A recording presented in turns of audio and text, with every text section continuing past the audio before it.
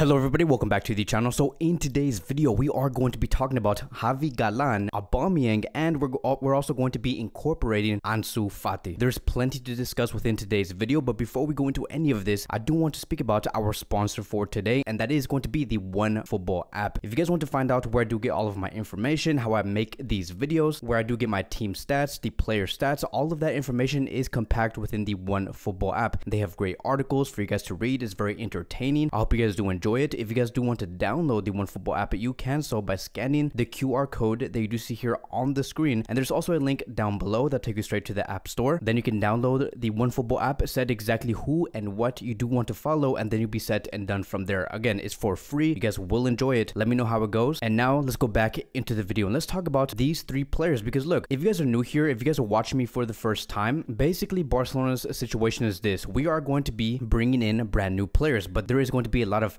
exits that is going to be happening within the next eight days because this week is going to be critical. We only have eight days left before the transfer window does close. So Barcelona is moving very, very fast. And so let's focus on Javi Galan because there is interest again. Yes, we have been interested in this player before. The only reason why it did cool down it is because Barcelona were focused on four different targets. It was Lewandowski, Rafinha, Koundé, and Kessie. Barcelona have done what they had to do. They have brought in those four players into the club and now they are re-emerging on their interest with Javi Galan. They basically strengthened this team overall and now they're asking, okay, how can we fine tune this team? And so when it comes to Javi Galan, it does say here, according to Matteo Moretto, Javi Galan is more than just an option at Barcelona. There is very big interest as there are problems in closing Alonso due to fair play. Javi Galan is open to a move and his wages won't be an issue either. Celta Vigo won't make it easy though. A possible offer from Barcelona will not reach 18 million euros, which is what Celta are asking for, but they won't be as far off either. They will be very close to what Celta is asking for. So, of course, Barcelona do not want to pay the full amount, and whatever Celta is asking for in the very beginning, this Barcelona club is always going to be taking their time in terms of like these transfers. They want to get the best possible deal. And if you guys are wondering what type of deal and what type of bid is Barcelona going to be presenting, Barcelona is expected to put out a bid of around 10 to 12 million euros for this player. Now, look, there has been many questions around this move because yesterday we saw Alejandro Balde have a great performance. He even got an assist. The way that he moved forward was aggressive. He was dynamic. He followed the orders of Xavi Hernandez in terms of the defensive game and the offensive game. And at the age of 18 years old, for him to play like this, we only have to build upon this player. Like, I don't even mean to overrate this player, but I remember when I saw Lewandowski score that goal, and then we saw Lewandowski go on with Alejandro Balde and hug him and say, thank you for that assist. What I saw there at that moment was Lewandowski just looking at Alphonso Davies the exact same way. Like that goal between Alejandro Balde and Lewandowski, that was pure Alphonso Davies and Lewandowski energy. That's all it was. So the question does continue to remain. Why does Barcelona want someone like Javi Galan when they have someone like Alejandro Balde who's really coming in through the ranks? And it does say here, according to Matteo Moretto, that for now, the emergence of Balde in the team hasn't made any impact on Barcelona's idea of getting a brand new left back. So it's quite clear that Barcelona do want to go for a brand new left back, even though Balde has been playing very well. Now, here's the thing. If we actually get Galan and we still have Balde and also Jordi Alba, the only thing I do want to see moving forward would be to see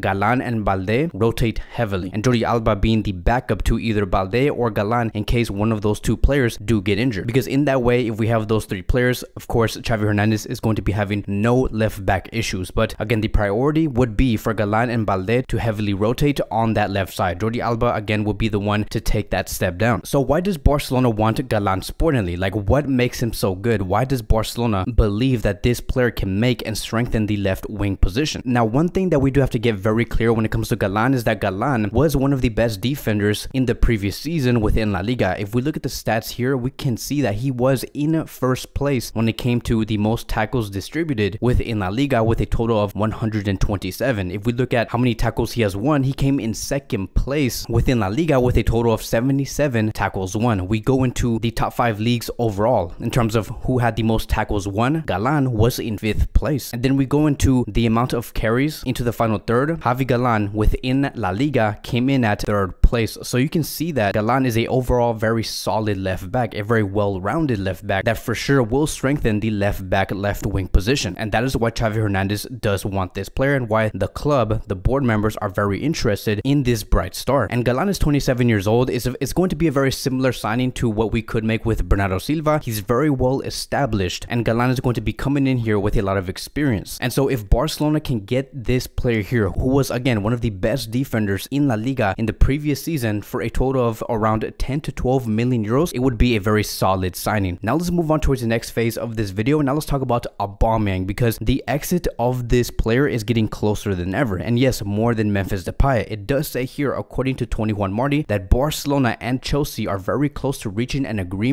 for the transfer of Aubameyang. Chelsea will pay 22 million euros plus 5 million euros in bonuses and it could be closed within the next few hours. So maybe, hopefully, by the time I do upload this video, maybe the full operation between Aubameyang, Chelsea, and Barcelona is 100% done. And the fact that Barcelona are going to be receiving a grand total of 27 million euros for this player, this would be a very crazy move, like a very crazy move and a huge benefit to this club because the fact that we got Aubameyang for free back in January and then sell him for 27 million euros in total, including the bonuses, that is a huge W for this club. Now I know that when it comes to this move, there is going to be backlash, but the profit is just too good. Like we got him for free and now we're just getting 27 million euros. Barcelona are only going to be profiting not just economically, but sportingly because he scored so many goals. He brought great success to this club and now we're going to be given 27 million euros. Do I believe that this move is going to be stopping the Memphis operation and him moving to Juventus? I don't think so because Memphis is not a number nine. He has nothing to do with what Aubameyang does on the field. And once we do have Aubameyang off this squad, if it does happen, because anything could happen in this football transfer window, like I've said before, the one player that could be that backup to Lewandowski in case he does get fatigued or he gets injured or maybe he's just too tired or, or we need to rotate and come out with a different front three, Ansu Fati can't play in the center. You look at how Ansu Fati did perform against Sociedad, he took on the center position a lot. Like his ability to hold the ball and to create around him, like how he created with Dembele and, and the fact that Dembele scored that goal. Ansu Fati is a great ball distributor and he can move greatly inside that box. And when it comes to this player himself, it does say here, according to many sources within Spain, that Ansu Fati is now ready to start in every game. The coaching staff is very pleased with his physical response, although they will continue to remain very cautious. And so the fact that Ansu Fati is now like 99% fit, this fixes so many problems. Barcelona are able to do so much more even with Aubameyang leaving and Memphis Depay leaving. We could have our main front three being Ansu Fati, Lewandowski, and Dembele. If Lewandowski ever does need to take that step down because of injury or maybe he's just too fatigued, we could easily have Ansu Fati in the center, Rafinha on the left, and Dembele on the right, and then having Ferran Torres replace either of those three players because he can't be just another player that can play in all of those positions. But going back to Aubameyang, one of the main reasons on why Chelsea is going to be paying so much for this player, like